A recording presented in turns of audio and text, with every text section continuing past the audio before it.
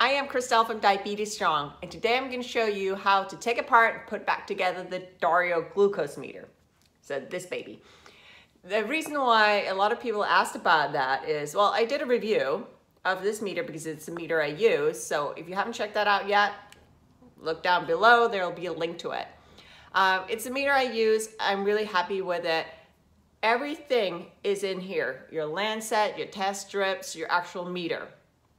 And a lot of people wrote back to me going like, well, this is great. How do I take it apart? How do I put it back together again? So let me show you how to do that. So these are two Dario meters, right? So this Dario meter is all assembled and this one is not. I just, I took it apart. So these are all the different parts. Okay, so we have, this is the actual meter that goes into your phone. Uh, these are your test strips. This is just the, uh, the top, and this is the Lancet. So this is what it looks like if you take it all apart. This is what it looks like once it's all put together. Okay, so let's do that. So again, you start out by taking your um, test strips out. So that looks like that. You see there's kind of like a little um, square there, and you can see the shape. What you want to do is Okay, see it's same on the other side. It says CE. The CE part should go aligned with the white side. So that's like that. You slide it in. There you go. Okay? Now it's in there. Next thing you do is you want to put on your protection cap. So once you want to actually measure your blood sugar, you just open up and then you take out your test strips. Okay? You put the cap back on. Next, we have our Lancet. So you should have gotten like plenty of these. So the way you do it is you simply push that in here. There you go. Then you have to take the protection cap off. You just squeeze around. There you go. See, now you can see the actual Lancet here.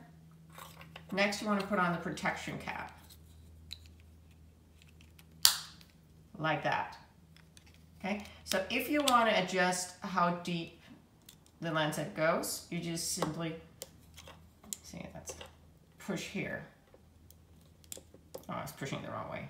Nice. Okay, so that's how you do that. Put that back on. And then your actual meter, here you go, slides in there. Let's pop that back out just so you know. So if you, for some reason, end up, you know, on the wrong side, it's not a problem. Still go in. So that was what it looked like all put together. So that was how you put it all together. Let's just take it apart. Just So let's put that on that there. So first thing you want to do, this one is mighty tight. There you go.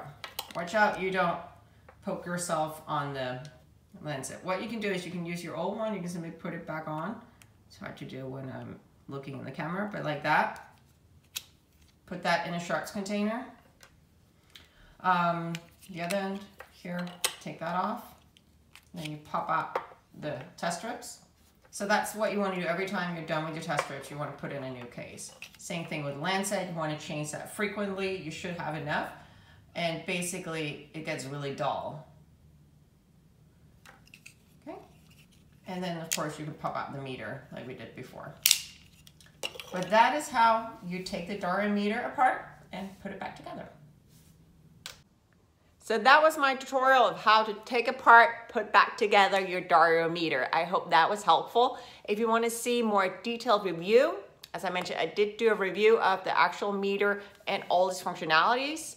Um, check out the review if you want to know, you know, how to use the app and just how to optimize your diabetes management using this meter. I hope you liked this video. If you did, please give it a like below.